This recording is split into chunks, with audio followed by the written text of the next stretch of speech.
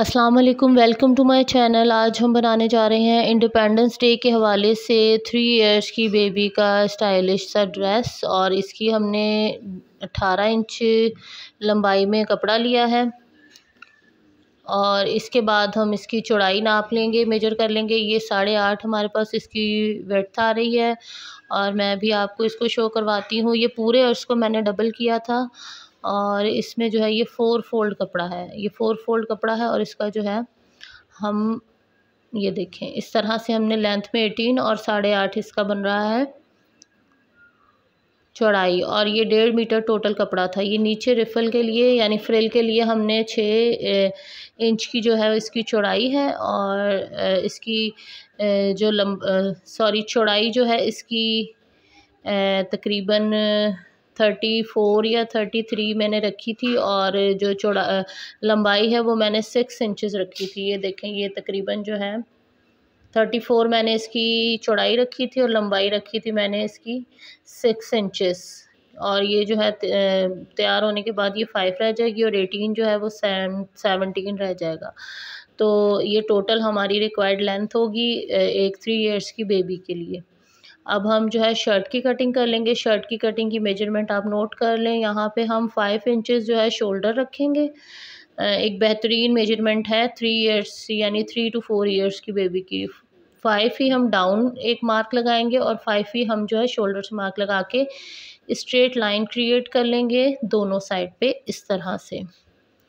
और फिर इसी तरह से नेक के लिए हम टू इंचज़ का जो है चौड़ाई लेंगे और लंबाई हम थ्री इंचज़ पे रख के इसी तरह से निशान लगाएँगे और इसी तरह से हम एक बॉक्स में लाइन क्रिएट कर लेंगे इन दोनों पॉइंट्स को मिलाकर।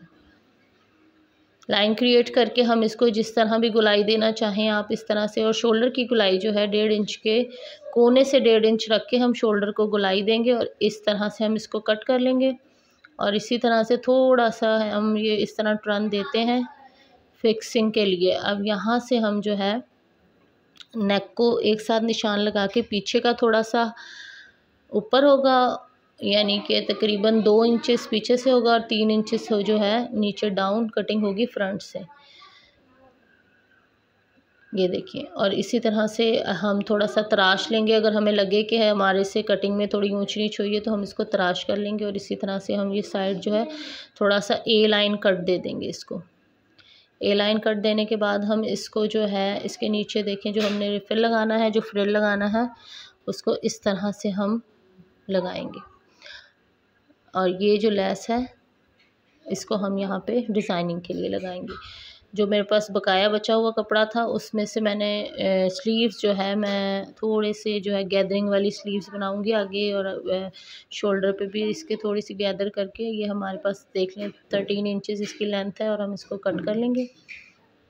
और यहाँ से हम जो है इसको पूरा ही थोड़ा सा तराश के इस तरह से रख लेंगे, क्योंकि हमने इसमें डिज़ाइनिंग करनी है, यानी कि हम इसको पफ वाली स्लीव्स बनाएँगे। ये कपड़ा जो हमारे पास बचा है, ये इसको हम नेक की जो है पट्टी कट कर लेंगे इसमें से। अब ये जो बकाया, डेढ़ मीटर में से जो बकाया कपड़ा बचा था, इसमें से हम जो है इसका पैंट ट्राउज़र कट कर लेंगे। ये ट्वेंटी फाइव इसकी लेंथ है, ये आप याद रखिएगा कि थ्री से साढ़े तीन तीन से साढ़े तीन साल की बेबी का ये मेज़रमेंट है और बिल्कुल ये एक्यूरेट मेज़रमेंट रहेगा। और ट्वेंटी फाइव हमने इसकी लेंथ ली है और इसी तरह से हमने ये देखें साढ़े आठ इसकी चौड़ाई बन रही है, इसको जब हमने फ़ोल्ड, फोर फोल्ड किया है। अब हम इसकी जो है कटिंग का हिसाब मैं आपको बताती हूँ।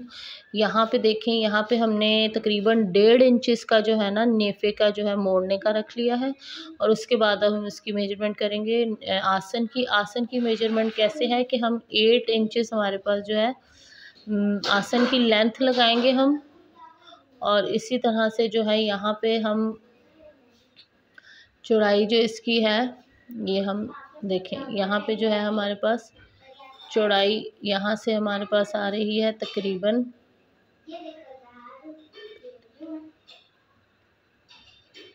यहाँ से है छः है, यहाँ से सात है। जी, सात, आठ और छः मिडल में से आठ, ऊपर से सात और नीचे से छः अब यहाँ पे हमने इस तरह से देखें टेन इंचेस नेफ़े को मिला के कंप्लीट और इसको हमने कटिंग कर ली है। अब हमारे पास जो लेंथ है टोटल है twenty five twenty five minus one point five और वन पॉइंट फाइव यानी तीन इंचेस जो है, यहाँ पे हमारे पास माइनस हुआ तो ये हमारे पास तकरीबन रह गया है twenty twenty two twenty two जो है तैयार रहेगा। थ्री इयर्स से तीन से साढ़े तीन साल की बच्ची का ये बेहतरीन ट्राउज़र का मेज़रमेंट है। ना ये फटेगा और ना ही ये बच्चे को परेशानी होगी। गले पे हमने लैस को पहले अटैच कर लिया था और फिर हम पट्टी को अटैच करेंगे। इसी तरह से बैक पे हमने ये पट्टी और पीछे से कट लगाया है।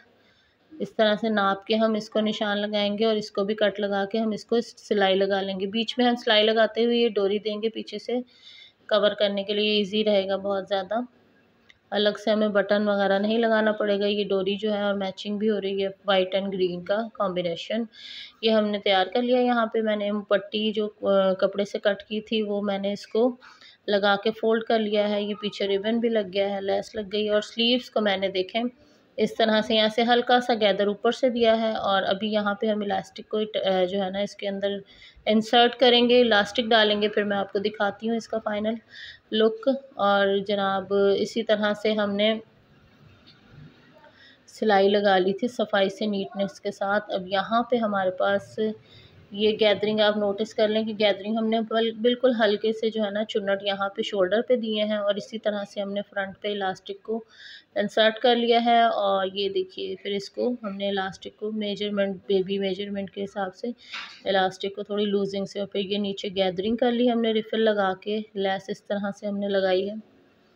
और फिर आप नीचे से इसको फोल्ड कर दीजिएगा, एक सिलाई लगा लेंगे, देखें। फाइनल लुक बहुत प्यारा लग रहा था और ये बिल्कुल एक्यूरेट मेज़रमेंट है।